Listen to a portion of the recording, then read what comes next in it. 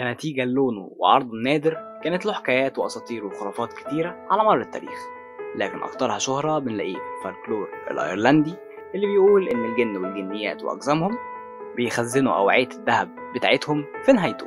لكن الحقيقة هي إننا ممكن نشوفه بس لو كنا في المكان والميعاد المناسبين وزي ما قال كالهون عالم الإدارة الوطنية للمحيطات والغلاف الجوي رؤيته بتكون لما بيمر الضوء من قطرات المطر. وبالمناسبة الإدارة الوطنية للمحيطات والغلاف الجوي هي وكالة عالمية بتركز جزئيا على ظروف الطقس. أهلا وسهلا بيكم حلقة جديدة من مكعب روبك. النهاردة بنتكلم عن قوس قزح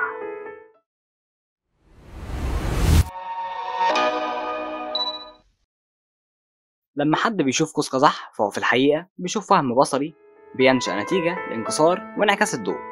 وطبعا الوهم البصري هو إنك تشوف حاجة تبان مختلفة عن الواقع لكن في الحقيقة هي فعلا موجودة.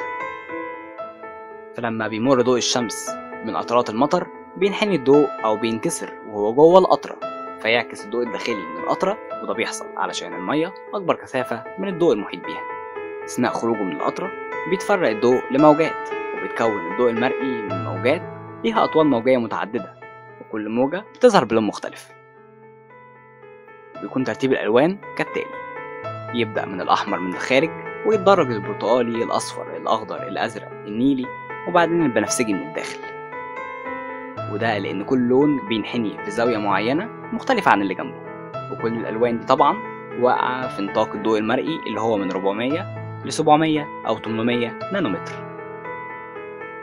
وعشان كده بيشوف الشخص كل لون في مكان مختلف على الأرض زي ما قال كالهون بيبان القوس على شكل انحناء.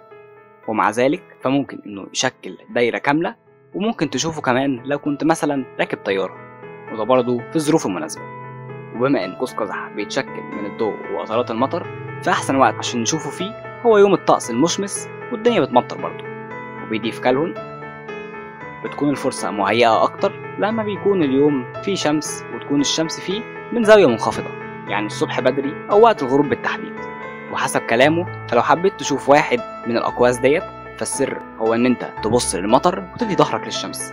وبرضه ده بيكون في الظروف المناسبة.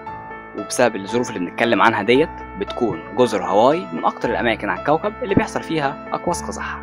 بيقول كالهون بتحصل رشات المطر والعواصف غالبا في نهاية اليوم نتيجة للتضاريس وتسخين الأرض خلال اليوم وبينتج عن النوع ده من رشات المطر غالبا مطر غزير لكن بيفضل معزول فوق مركز اليابس.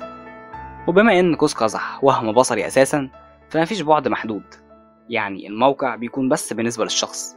وده طبعا معناه إننا مستحيل نلاقي أي أوعية ذهبية هناك. أما عن أسباب ظهوره فإحنا هنتكلم بس من الناحية العلمية. والسبب علميا بسيط جدا.